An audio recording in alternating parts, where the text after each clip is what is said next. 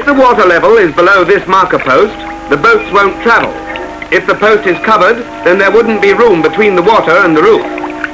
In the old days, a man would lie on his back for hours, leg weary, walking upside down on the rock to get the coal through stretches of canal that extended 15 miles. And there was women and children working down there, wasn't it? So was it the 1840s? 1840s, yes. The whole family worked down.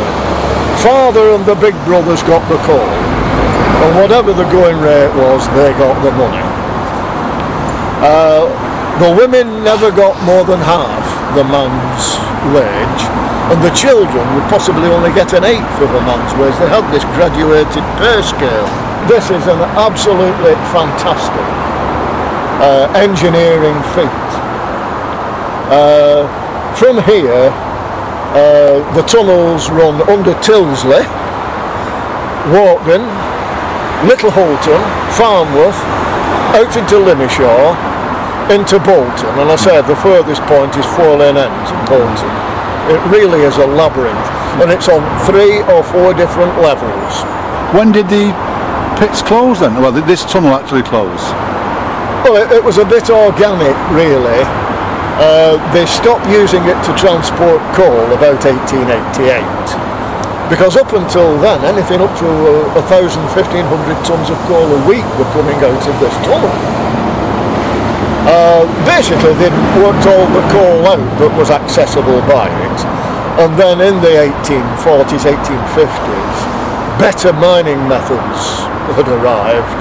And it was more economic to use steam-powered winding than bring the stuff out by boat. So eventually it closed, but they kept it open for drainage and ventilation and whatnot. But the last coal actually came out in 1968.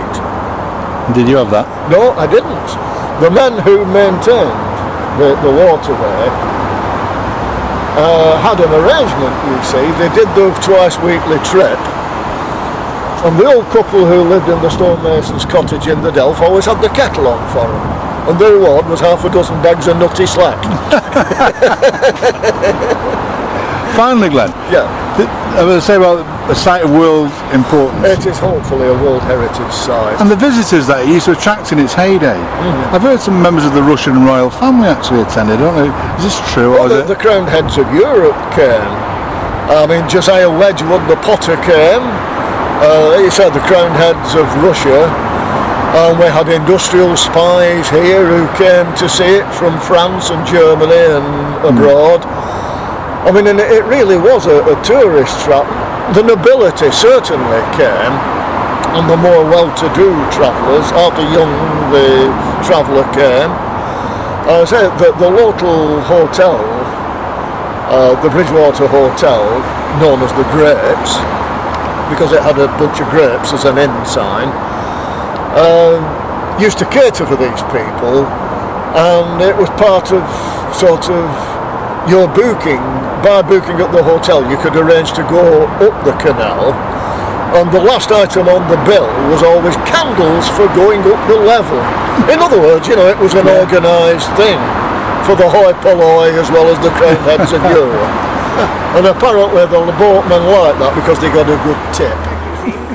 Into daylight once more at Worsley, they'll have satisfied themselves that all's well. At Worsley, the old canal joins up with the one still in use for coal traffic. Here too, the coal board has a boatyard, and the surface canal system is as busy as it ever has been.